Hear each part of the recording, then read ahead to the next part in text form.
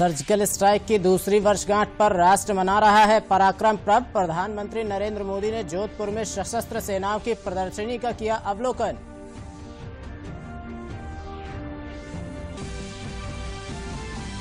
अयोध्या विवाद से जुड़े मामले में सुप्रीम कोर्ट की तीन सदस्यीय पीठ ने मस्जिद इस्लाम का अभिन्न हिस्सा है या नहीं, इस बात को संविधान पीठ को भेजने से किया इनकार।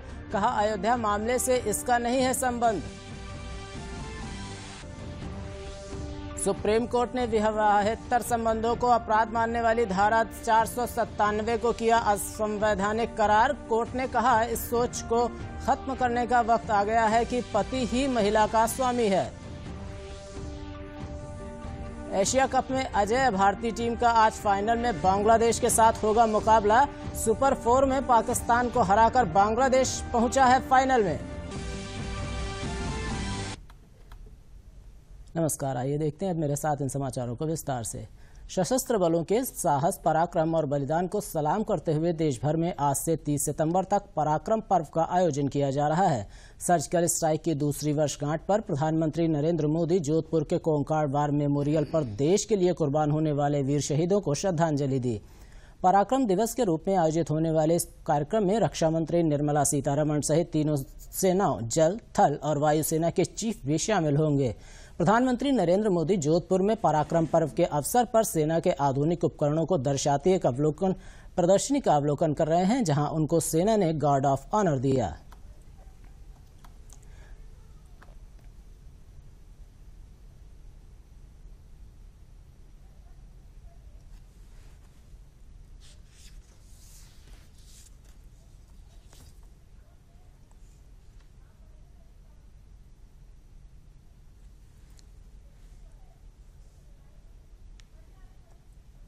देश भर में इक्यावन शहरों के तिरपन जगहों पर सेना के जवानों के पराक्रम पर फोकस करते हुए कई कार्यक्रम आयोजित किए जाएँगे। रक्षा मंत्री निर्मला सीतारमण इंडिया गेट पर पराक्रम पर्व का उद्घाटन करेंगी और वहाँ बच्चों से संवाद करेंगी।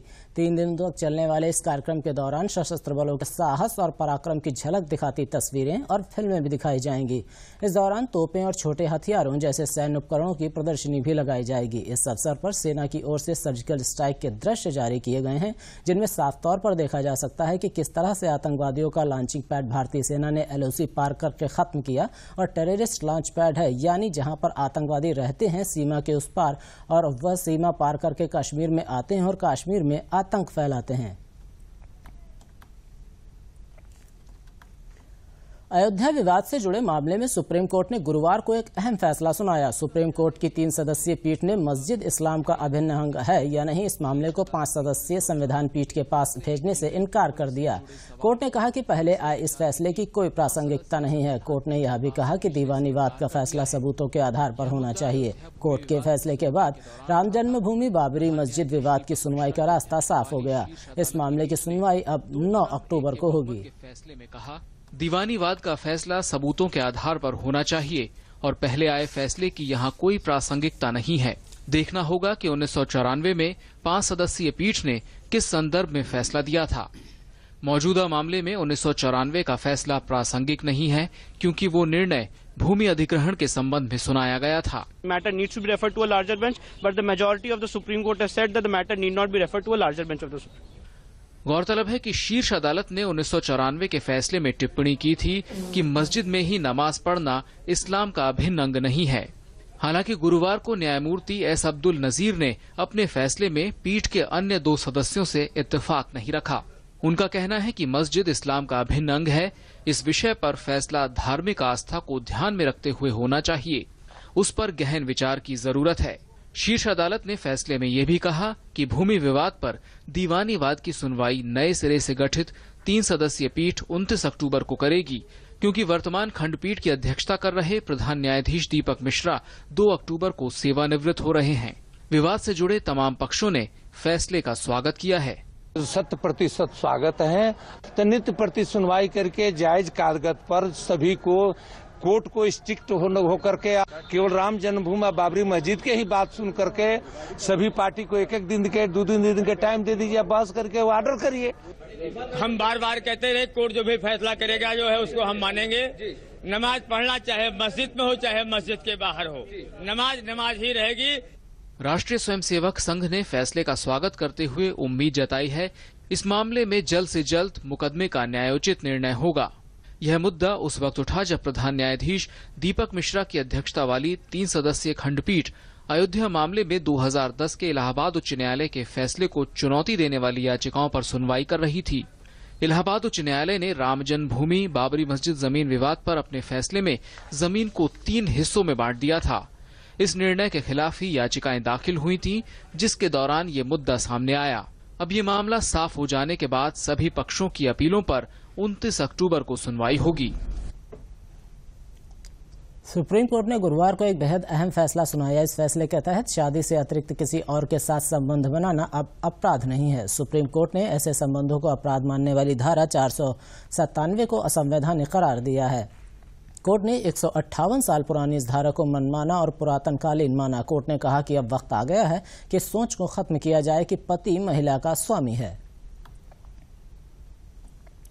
राज्यपाल राम नाईक और मुख्यमंत्री योगी आदित्यनाथ ने कल पूर्व प्रधानमंत्री स्वर्गीय लाल बहादुर शास्त्री के पैतृक आवास को संग्रहालय के रूप में राष्ट्र को समर्पित किया। इस अवसर पर पूर्व प्रधानमंत्री लाल बहादुर शास्त्री एवं उनकी पत्नी ललिता शास्त्री की प्रतिमा का भी अनावरण किया गया। इस अवसर पर देश के चिकित्सा, स्वास्थ्य मंत्री एवं शास्त्री जी के नाती सिद्धार्थनाथ सिंह भी उपस्थित थे। इस अवसर पर मुख्यमंत्री ने मीडिया से बात करते हुए कहा कि रामनगर और सामने घाट को जोड़ने वाले पुल का नामकरण लाल बहादुर शास्त्री के नाम पर किए जाने पर जल्द विचार कर कार्रवाई की जाएगी। इस देश के द्वितीय यशस्वी प्रधानमंत्री के रूप में जिन्होंने इस देश को एक गौरवशाली नेतृत्व दिया स्वर्गीय लाल बहादुर शास्त्री जी की ये जन्मभूमि है। आदरणीय प्रधानमंत्री जी की प्रेरणा से और सरदेव शास्त्री जी के परिवार जनों के आग्रह पर, यहाँ पर सरदेव शास्त्री जी का इस पैतृक भवन उनके स्मारक के रूप में आज यहाँ पर लोकार्पण का कार्यक्रम संपन्न हुआ है। निश्चित ही एक प्रेरणादायी केंद्र के रूप में, सदैव मार्गदर्शक के रूप में रहेगा। हम इसके लिए कॉर्पस फंड बनाएँगे, जिससे अनवरत रूप से इस भव्य स्मारक को आगे बढ़ाया जाता, जाने की, जाते, जाने की व्यवस्था बनाएँगे हम लोग। इलाहाबाद हाईकोर्ट ने वेंडिंग जोन पर सुनवाई करते हुए वेंडरों का भी भरण पोषण करने के लिए मिलना चाहिए, यह उनका अधिकार है। नोएडा अथॉरिटी को फटकार लगाते हुए कोर्ट ने कहा कि शासनादेश के चार वर्ष बीत जाने के बाद भी ज़िले में कोई कार्य नहीं हुआ। न्यायमूर्ति मनोज कुमार गुप्ता ने याची श्याम कुमार गुप्ता एवं अन्य की याचिका पर दिया। याचिका में बताया गया कि शासनादेश के बावजूद दुकानदारों को लगातार प्रशासन प्रताड़ित करता है। कोर्ट को याची अधिवक्ता ने बताया कि पूर्व में भी माननीय न्यायालय का आदेश है वेंडिंग जोन बनाने का, लेकिन अब तक ज़मीन पर कोई कार्य अधिकारियों द्वारा नहीं किया गया, जिस पर कोर्ट ने कहा कि पटरी दुकानदारों को स्थायी करें, जिससे वेंडर अपनी रोजी रोटी कमाकर परिवार का भरण पोषण कर सकें और वेंडरों को बेवजह परेशान न करें। प्रशासन ने कोर्ट ने कहा कि वेंडरों का भी भरण पोषण करने के लिए उन्हें मिलना चाहिए, यह जगह उनका अधिकार है। नोएडा में जो पटरियों पर जिन लोगों ने दुकान लगाया था, उन्होंने अपने रेगुलाइजेशन के लिए माननीय उच्च न्यायालय में अपनी याचिका दाखिल की और ये कहा कि गवर्नमेंट की ऑलरेडी स्कीम है और एक्ट भी है कि बेंडिंग जोन बना करके जो स्ट्रीट पे दुकान लगा रहे हैं, उनको आप रेगुलाइज करें लाइसेंस दें उनको और उनको ज़मीन अलाट करें।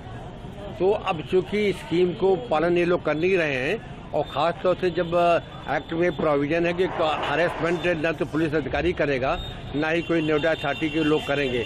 बावजूद उसके ये लोग जब वहाँ पर एक्ट के खिलाफ कार्य कर रहे थे तो यहाँ माननीय उच्च न्यायालय में हम लोगों ने कंटेम्प दाखिल किया, क्योंकि माननीय न्यायालय के आदेश के बावजूद भी न तो बिल्डिंग जोन बनाया जा रहा था, न ही इसका आइडेंटिफिकेशन हो रहा था, न ही जो छोटे दुकानदार थे उन्हें लाइसेंस देने की प्रक्रिया हमारी बेंडिंग जोन के लिए मांग है कि जब 2014 में हमारा एक्ट पास हो गया है तो हमें जगह प्रोवाइड करके दे दी जाए, लाइसेंस दे दिया जाए। और हमारे पास फ़ूड सेफ्टी लाइसेंस भी है, और हम लोग फ़ूड सेफ्टी लाइसेंस बनवा रखा हूँ, तब भी हमको दिया नहीं जा रहा। सिर्फ़ कागज़ पे कलम चल रही है, नोएडा अथॉरिटी की, जबकि सरकार ने प्रोजेक्ट पास कर दिया दो दो अठारह को, और हम लोगों को लाइसेंस नहीं दिया जा रहा है, और हम लोगों को वहाँ से उठाया जा रहा है मारा जा रहा है, सिर्फ़। और कोई भी लाइसेंस नहीं दिया गया है, जो आज माननीय उच्च न्यायालय में उन्होंने कागज़ पेश किया है कि हमने बना दिया है तो वहाँ पे ऐसी कोई चीज़ नहीं है। सिर्फ़ वहाँ पे हम लोगों को हटाकर नए अपने ही रिश्तेदार और घर वालों को ही स्थापित करना चाहते हैं। विश्व पर्यटन दिवस के अवसर पर पर्यटन भवन में tourism and the digital transformation कार्यक्रम का आयोजन किया गया, जिसकी अध्यक्षता पर्यटन मंत्री रीता बहुगुणा जोशी ने की।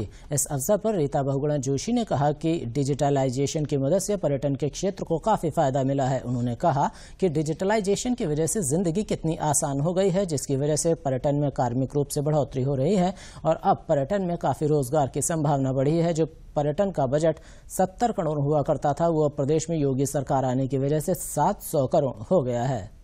उत्तर प्रदेश ने पिछले डेढ़ वर्षों में पर्यटन के क्षेत्र में बहुत बहुत परिवर्तन किया है, बहुत हम आगे बढ़े हैं और डिजिटाइजेशन का ये युग है। इससे इसकी थीम भी अब की यही दी गई है कि कैसे हम डिजिटाइजेशन का इस्तेमाल करते हुए और अपने पर्यटन को आगे बढ़ाएँ। देखिए उत्तर प्रदेश में भंडार है पर्यटन स्थलों का। चाहे वो किसी तरह का, चाहे वो धार्मिक हो, आध्यात्मिक हो, अथवा वो प्राकृतिक हो, या ऐतिहासिक हो, या व्यंजनों का हो, या फिर क्यों ना वेलनेस का और हेल्थ का, स्वास्थ्य का टूरिज़्म हो। सब कुछ है, लेकिन दुर्भाग्यवश, पिछले पंद्रह बीस वर्षों में पर्यटन को हमेशा हाशिए पर रखा गया। लेकिन जब से उत्तर प्रदेश में योगी सरकार आई और नरेंद्र मोदी जी, जो प्रधानमंत्री, उन्होंने उत्तर प्रदेश को समर्थन और सहयोग देना शुरू किया बल्कि हमने लेना शुरू किया। तो आज आ, बहुत हम लोग आगे बढ़े हैं और लोगों का बहुत ज़्यादा दिलचस्पी उत्तर प्रदेश के पर्यटन में बढ़ी है। झांसी में कौशल विकास योजना के अंतर्गत प्रशिक्षित बेरोजगार युवाओं को नौकरियाँ मिलने से छात्र छात्राएँ उत्साहित हैं। नौकरी मिलने से छात्र छात्राएँ अपने परिवार में सहयोग प्रदान कर घर परिवार की मदद करने की बात करते हैं। नौकरी प्राप्त करने वाले सभी छात्र छात्राएँ विकास योजना व श्रम सेवा मंत्रालय और प्रधानमंत्री को धन्यवाद दे रहे हैं। नौकरी प्राप्त करने युवाओं का कहना है कि शुरुआत थोड़े से ही, मगर शुरुआत तो हुई, आगे बढ़ने के भविष्य में उनके लिए अच्छे अवसर खुल गए। झांसी मंडल में हाल ही में कौशल विकास के ज़रिए तकनीकी प्रशिक्षण प्राप्त कर युवाओं को कौशल विकास और सेवा योजना विभाग द्वारा हज़ारों लोगों को रोज़गार मिल रहा है। ऑफ़र तो मिला है लेकिन हम लोगों ने जो देखा है तो वो नाइन थाउज़ेंड नाइन थाउज़ेंड से है। लेकिन मुझे बहुत खुशी है। लेकिन अभी शुरुआत हुई लेकिन थोड़ी सी हुई है। लेकिन आगे चल के और भी बढ़ सकते हैं लेकिन बहुत खुश हूँ मैं। और ये आगे मुझे ये, अवसर मिला है लेकिन हम सोचते हैं और भी आगे लोगों को मिले। और बस इसीलिए थैंक यू मैं अपनी मैम को और जिन्होंने सर ने दिया। मंथ का कोर्स था और इससे मुझे मतलब मैंने एक कोर्स किया है जहाँ से वहाँ बहुत अच्छी स्टडी किया मतलब पढ़ाई की जाती है। वहाँ जो एक भी रुपए नहीं लगे हुए हैं। मैं बहुत ही गरीब फैमिली से हूँ। जो मेरे पापा मम्मी हैं जो अपने पैसे से नहीं करा सकते। इसीलिए ये कौशल विकास के द्वारा से मैंने जो किया है इससे मुझे बहुत ही मदद मिलती मिलेगी। आगे बढ़ इससे मैं आगे बढ़ूँगी। तो मैंने अप्लाई किया और मेरा सिलेक्शन हुआ है इसमें। और मैं का धन्यवाद करती हूँ उन लोगों का। ये ये लोग यहाँ जॉब ले, पहले के, पहले लोग जॉब के लिए खुद जाते थे, अब अब सरकार खुद जॉब ला रही है हम लोगों के पास। तो हम लोगों के लिए बहुत खुशी की बात है कि हम लोगों को जॉब सिलेक्शन हो रहा है। विश्व पर्यटन दिवस के अवसर पर जिला प्रशासन सोनभद्र द्वारा पर्यटन को बढ़ावा देने के उद्देश्य से सोनभद्र फ़ोटो पेस्ट प्रतियोगिता एवं प्रदर्शनी का आयोजन किया गया। प्राकृतिक सुम्यता से भरपूर सोनभद्र के इस फ़ोटो पेस्ट प्रतियोगिता में देशभर से 500 से अधिक फोटोग्राफर एवं ट्रेवल ब्लॉगर ने सोनभद्र के प्राकृतिक सौंदर्य व ऐतिहासिक स्थल की पचहत्तर से ज़्यादा फ़ोटो भेजी। इसमें 150 फ़ोटो को प्रदर्शनी में दिखाया भी गया, जिसका उद्घाटन माननीय सांसद छोटेलाल खारवार और विधायक सदर भूपेश चौबे ने किया। सोनभद्र में स्थापित लोको पावर और अल्ट्राटेक सीमेंट के द्वारा सीएसआर के तहत प्रतियोगित इस स्पर्धा में इलाहाबाद के आमिर खान द्वारा भेजी मुक्का फाल की तस्वीर को एक लाख रुपए का प्रथम पुरस्कार, वाराणसी के राधा स्वामी के सोनभद्र के जनजीवन की फ़ोटो के लिए पचास हज़ार का द्वितीय पुरस्कार एवं आईआईटी बीएचयू के छात्र सागर सक्सेना को मंगेशर नाथ तस्वीर के लिए पच्चीस हज़ार रुपये का तृतीय पुरस्कार प्रदान किया गया। इस प्रतियोगिता में देश के विभिन्न भागों से दिल्ली, जयपुर, मुंबई, चेन्नई, वाराणसी, कोलकाता आदि से आए प्रतिभागियों ने भाग लिया फ़र्स्ट प्राइज हमारे यहाँ पर एक लाख रुपए का था जो कि यहाँ पर इलाहाबाद के लड़के ने जीता सेकेंड प्राइज हमारा फिफ्टी थाउज़ेंड का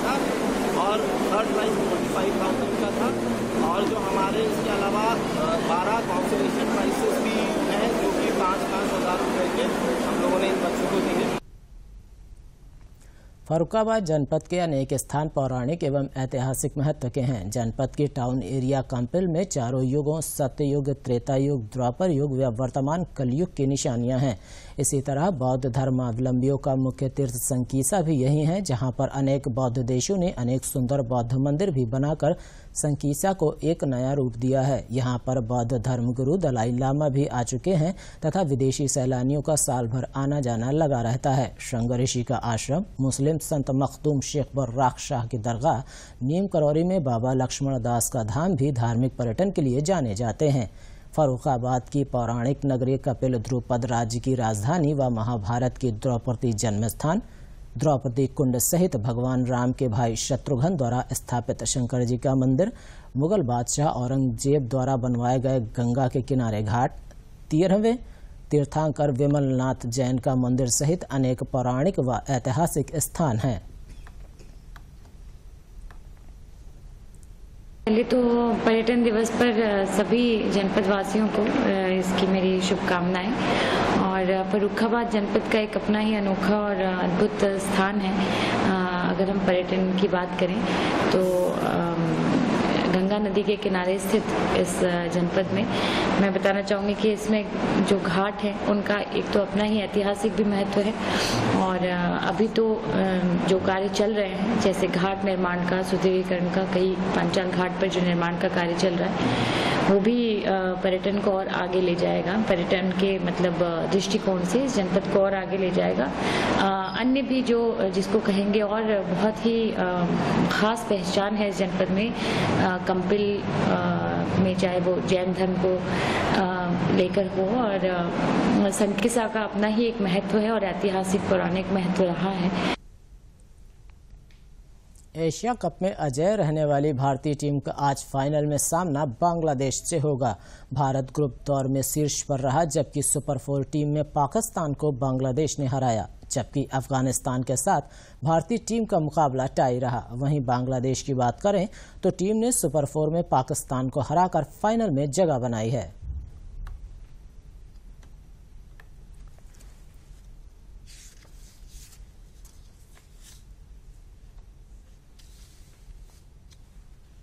प्रधानमंत्री नरेंद्र मोदी के ड्रीम प्रोजेक्ट स्वच्छ भारत अभियान के अंतर्गत कन्नौज ज़िले को खुले में शौच मुक्त घोषित किया गया है। 2012 बेसलाइन सर्वे के अनुसार ज़िले को दो लाख पाँच हज़ार शौचालय का निर्माण का लक्ष्य दिया गया था, जिसके सापेक्ष पिचासी दशमलव बयालीस फ़ीसद शौचालय की फ़ोटो अप्रूव के बाद ज़िले को खुले में शौच मुक्त की घोषणा की गई। लगभग 17 लाख की आबादी वाले कन्नौज ज़िले को प्रदेश में शौचालय निर्माण में ग्यारहवा स्थान मिला। शासनादेश के अनुसार, जिन जिलों में शौचालय निर्माण की स्थिति 80 फ़ीसद से ऊपर है, उन जिलों को खुले में शौच मुक्त घोषित किया जा रहा है। इसको देखते हुए ज़िले में शौचालय निर्माण की स्थिति पिचासी फ़ीसद से ज़्यादा होने के कारण ज़िले को खुले में शौच मुक्त घोषित कर दिया गया। सभी लोग यहाँ पे जनपद कन्नौज से ढेर सारे लोग काफ़ी सारे लोग यहाँ पे उपस्थित रहे और सभी अधिकारियों द्वारा कड़ी मेहनत करके पूरे जनपद को आज ओडीएफ घोषित किया गया तो कुछ शौचालय रिक्त रह गए हैं क्या उनके लिए कुछ दिशा निर्देश जारी किए गए हैं? जी बिल्कुल। अभी लगभग पिचासी परसेंट जनपद है उसको ओडीएफ घोषित किया गया है और बाकी के जितने बचे हुए शौचालय हैं उन पर तेज़ी से कार्य चल रहा है और उनको बहुत जल्द तीन माह के अंदर पूरा कर दिया जाएगा कुछ मैसेज देना चाहेंगे उन लोगों को जिनके शौचालय बन गए हैं प्रयोग करें? एक पहल जो माननीय प्रधानमंत्री जी द्वारा शुरू करी गई थी उसको सफल बनाने में सभी लोग एकजुट होकर के एक ताकत बन के उमड़े हैं और इसको बहुत ऊंचाई तक लेकर के गए हैं। ओडीएफ का जो कार्यक्रम है वो जन जन तक जुड़ा हुआ कार्यक्रम है जनता को हित का कार्यक्रम है। माननीय प्रधानमंत्री जी की जो आमजन की बेहतर करने की सोच है, उसको दर्शाता है। सभी लोगों से मैं अनुरोध करूँगा कि जितने भी शौचालय बनाए गए हैं, उनका प्रयोग करें और ये शौचालय का प्रयोग करके उनके उन्हीं के लाभ के लिए इन शौचालयों को बनाया गया है और जितना भी हमारा समाज है, उसको बीमारियों से, जो तरह तरह की बीमारियाँ होती हैं, खुले में शौच से, उससे मुक्त बनाए। आगरा जनपद में अब साढ़े दस लाख खाते प्रधानमंत्री जनधन योजना के तहत खोले जा चुके हैं। आगरा में खोले गए प्रधानमंत्री जनधन योजना के साढ़े दस लाख खातों में पिछहत्तर से अस्सी करोड़ रुपए जमा हो चुके हैं। इस योजना के तहत आज भी बैंकों में खाता खुलवाने के लिए बड़ी संख्या में लोग पहुँच रहे हैं। वहीं बैंकों द्वारा ग्रामीण कस्बों और गाँवों में कैंप लगाकर गरीब लोगों के खाते खोलने का काम किया जा रहा है। अग्रणी बैंक प्रबंधक विजय कुमार सिंह ने बताया कि आगरा जनपद में 2015 से लेकर 18 तक करीब साढ़े दस लाख खाते जनधन योजना के तहत खोले गए हैं और जगह जगह कैंप लगाकर भी लोगों के खाते इस योजना के तहत निःशुल्क खोले जा रहे हैं। अब तक जनधन योजना के तहत खोले गए करीब साढ़े दस लाख खातों में पिछहत्तर से अस्सी करोड़ की धनराशि जमा हुई है। उन्होंने बताया कि प्रधानमंत्री जनधन योजना प्रधानमंत्री नरेंद्र मोदी द्वारा शुरू की गई है, जिसमें मूल परिवर्तन हुआ है, जिसमें पहले बैंक में खाता खुलवाने के लिए एक हज़ार रुपये और समय लगता था, लेकिन अब गाँव में कैंप लगाकर बैंक द्वारा जनधन योजना के तहत खाते खोले जा रहे हैं।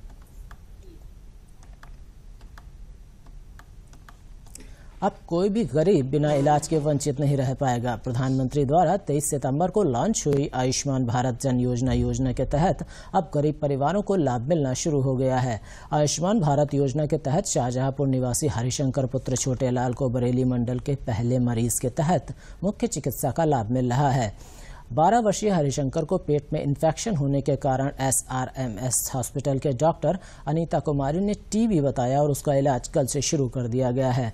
इस योजना के तहत परिवार को पाँच लाख रुपए का निशुल्क इलाज मिल सकेगा, जो आयुष्मान भारत, प्रधानमंत्री जन आरोग्य योजना के सूचीबद्ध सरकारी एवं निजी अस्पताल में इलाज करा सकते हैं। इस योजना के तहत सेकेंडरी टैशनरी कैंसर और हृदयघात जैसी 1350 बीमारियों को शामिल किया गया है, जिनका उपचार किया जा सकेगा। इलाज के दौरान दवा, जाँच और एक्सरे पूरी तरह निःशुल्क रहेंगे।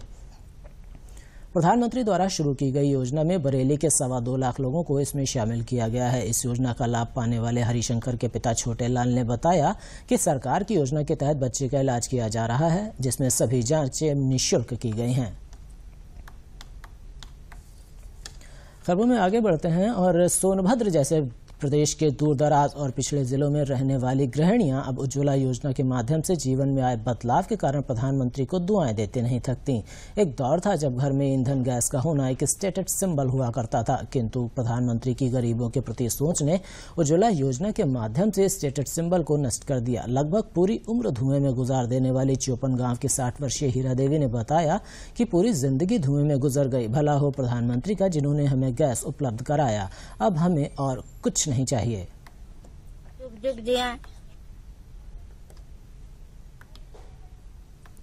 चालीस वर्षीय लक्ष्मी देवी गैस पाकर काफ़ी खुश हैं और उनका मानना है कि अब वो बर्तन भी मैले नहीं होते और समय तो बचता ही है। साथ ही जब ज़रूरत होती है तब कुछ भी बन जाता है। लकड़ी बैठा थे उसमें परेशानी हो फूकने में लकड़ी फूकते फूकते आदमी खांसी आ जाए खोखने लगे कोई के दिक्कत हो फ़ायदा बोले, चूल्हा पर जैसे मतलब बर्तन चक गल दाल चावल डलाए गल ले धन नहीं लगा के, है? गैस नहीं चूल्हा नहीं फूके के नहीं।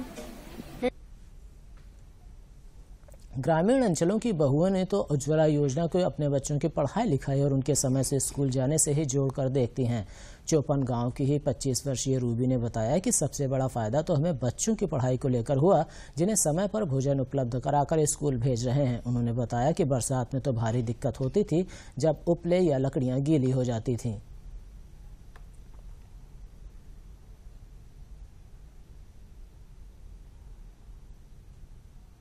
आने से दिक्कत होती थी कि बरसात में गोईठा भी नहीं था, भीग जाता था, लकड़ी भी भीगती थी धुआँ होता था, चूल्हा मांगी जलाने से। और कितने भी मट्टी तेल डाले, फिर भी दिक्कत होती थी। बच्चे भी रोते थे, गैस मिलने से हमें कोई दिक्कत नहीं है। हम गैस पर जल्दी खाना बना लेते हैं और बच्चे भी स्कूल जाते हैं। सेमर गाँव की 24 वर्षीय रुखसाना कहती हैं कि गैस मिल जाने से समय से काफ़ी बचत हो गई। समय पर बच्चों का स्कूल भेजना और पढ़ाई के साथ घर में बुज़ुर्गों और बच्चों का धुएँ से निजात सबसे बड़ी सुविधा है। गैस मिल गया है। गैस पर हम खाना बना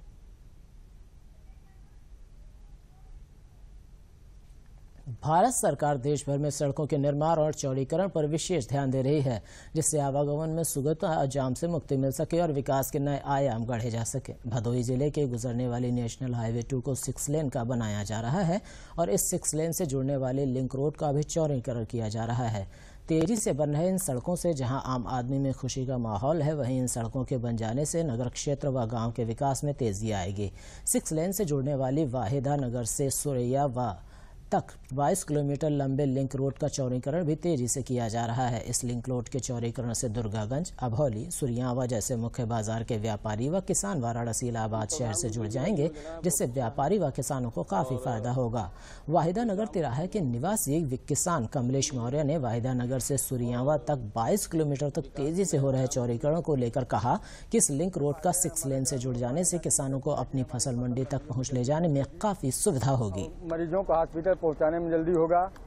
बहुत से फ़ायदे हैं। उससे हमको भविष्य में हम लोगों को जाम से मुक्ति मिलेगी, बनारस इलाहाबाद जाने में, यहाँ पे जो कि हम कह सकते हैं, बीच में, मध्य में हम छोटे काशी में स्थित हैं, हम लोगों को जाम से मुक्ति मिल जाएगी और, विकास को तीव्र गति प्राप्त होगी। प्रदेश में पिछले तीन महीने से सक्रिय मानसून अब विदाई की तैयारी में है। इसके साथ ही सर्दी का मौसम अपने पाँव पसारना शुरू करेगा। प्रदेश के मौसम निदेशक जेपी गुप्ता ने बताया कि दक्षिणी पश्चिम मानसून की विदाई हरियाणा राजस्थान और दिल्ली से शुरू होती है। इसके बाद यूपी की बारी आती है। उन्होंने बताया कि प्रदेश में रात के तापमान में गिरावट आएगी और सर्दी वाली रातों का सिलसिला शुरू होगा। प्रदेश में दिन का अधिकतम तापमान 22 से सैंतीस डिग्री सेल्सियस और रात का न्यूनतम तापमान 22 से 26 डिग्री सेल्सियस रहेगा। मौसम विभाग के ताज़ा आंकड़ों की माने तो पहली जून से 22 सितंबर के बीच प्रदेश में सात दशमलव एक मिलीमीटर बारिश हुई, जो सामान्य बारिश का तिरानवे फ़ीसद था। प्रदेश के पचहत्तर जिलों में 16 जिलों में सामान्य से अधिक, यानी 120 प्रतिशत, बत्तीस जिलों में सामान्य, यानी 80 से 120 फ़ीसद, और 15 जिलों में न्यूनतम 10 जिलों में अति न्यूनतम, और दो जिलों में अत्यंत न्यूनतम बारिश हुई है। अब आखिर में एक बार मुख्य समाचार फिर से देख लेते हैं।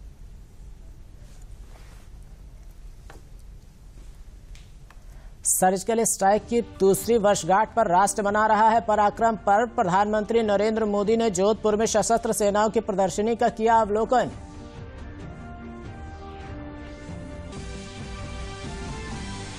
अयोध्या विवाद से जुड़े मामले में सुप्रीम कोर्ट की तीन सदस्यीय पीठ ने मस्जिद इस्लाम का अभिन्न हिस्सा है या नहीं, इस बात को संविधान पीठ को भेजने से किया इनकार। कहा, अयोध्या मामले से इसका संबंध नहीं। एशिया कप में अजय भारतीय टीम का आज फाइनल में बांग्लादेश के साथ होगा मुकाबला। सुपर फोर में पाकिस्तान को हराकर बांग्लादेश पहुँचा है फाइनल में।